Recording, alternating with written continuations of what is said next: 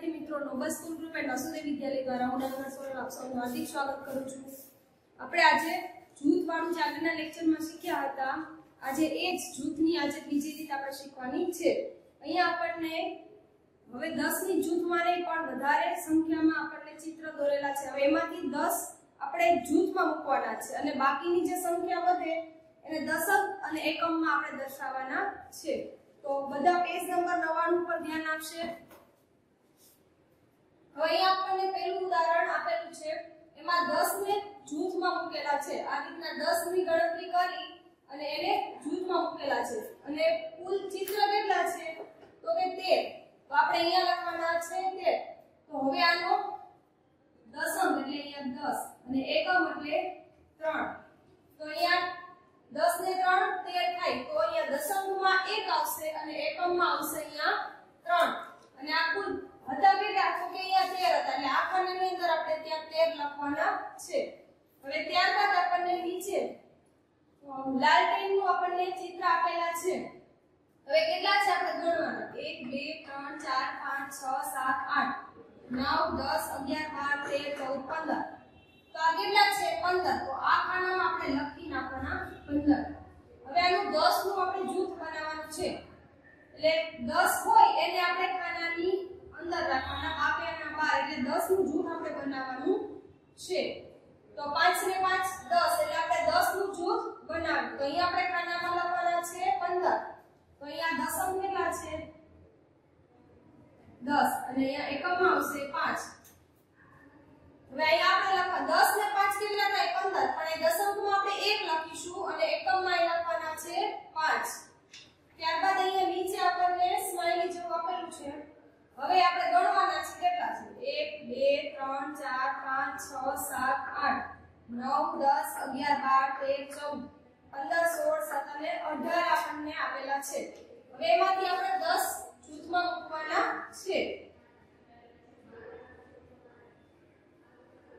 છે 1 2 3 4 5 6 7 8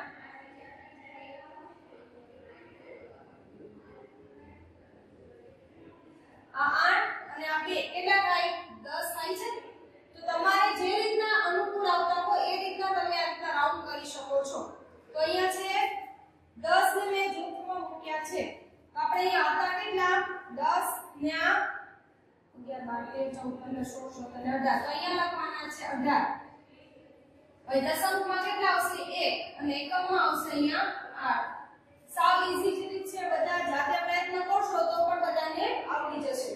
હવે ત્યારબાદ આપણને અહીંયા ટોપીનું ચિત્ર તમારી બુકમાં તમને આપેલું હશે હવે એ કેટલા છે આપણે ગણવાનું 1 2 3 4 5 6 7 8 9 10 11 12 13 14 15 16 અહીંયા ચિત્ર આપણે ગણી અને અહીંયા જેટલા હોય એ લખી નાખવાના છે 19 અને આપણે 19 છે એટલે એનો અહીંયા દશમ કેટલા છે અહીંયા 1 અને એકમ છે 9 હવે દશમ એટલે કેટલા થાય 10 પણ આપણે અહીંયા લખવાના કેટલા એક જ પાછળ શૂન્ય કરવાનું નથી દશમની સંખ્યા અહીંયા એક જ અને એકમ એટલે અહીંયા 9 મૂકવાના હશે હવે આને આપણે જૂથમાં મૂકવાની છે આમાંથી આપણે 10 અલગ પાડવાના છે અને બાકીના 9 છે એને અલગ રાખવાના છે, તો 1 2 3 4 5 6 7 8 9 ને 10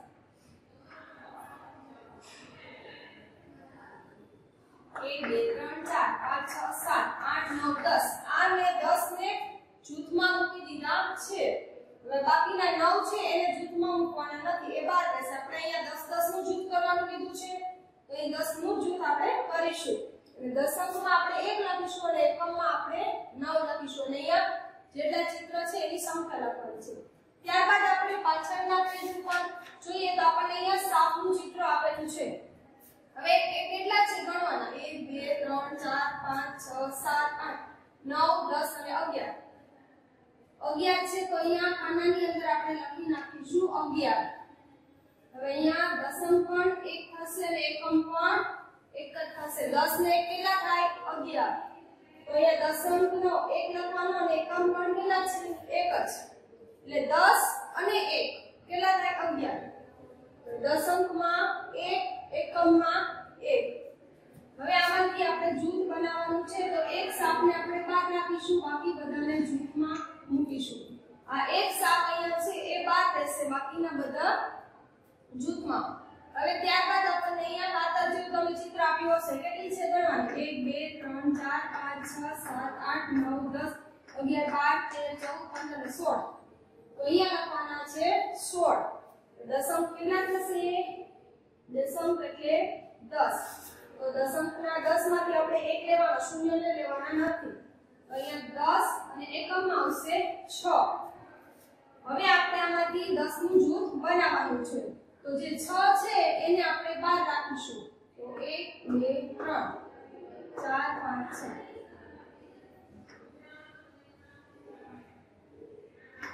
you.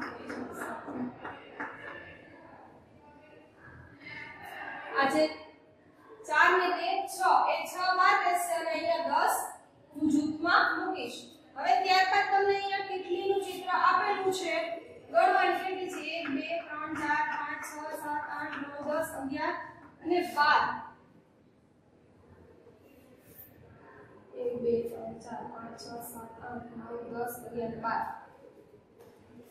12 2 4 6 8 10 12 અહીંયા તમને મેં અહીંયા કપનું ચિત્ર દોર્યું છે પણ તમારે ત્યાં આવશે કેટલીનું ચિત્ર એટલે કોઈ મિસ્ટેક નહીં કરતા અમારે આવું ચિત્ર નથી તો અહીંયા તમારે કેટલીનું ચિત્ર આપેલું હશે હવે કેટલા છે ગણવાના તો કે આપણે ગણ્યા 12 હતા તો અહીંયા આપણે દશંકમાં 1 લખીશું અને 2 મૂકીશું. હવે અહીંયા છે ને બે ને 12 રાખવાના છે. બે કેટલી ને 12 રાખવાની એટલે તમારી જે બુકમાં આ રીતના જૂથ બનાવવાનું હશે. મારે અહીંયા કપનું ચિત્ર છે, તો અહીંયા બે કપ ને છે ને બહાર રાખીશ અને બાકીના 10 નું જૂથમાં મૂકીશ. હવે ત્યારબાદ આપણને અહીંયા નીચે બરડીનું ચિત્ર આપેલું છે.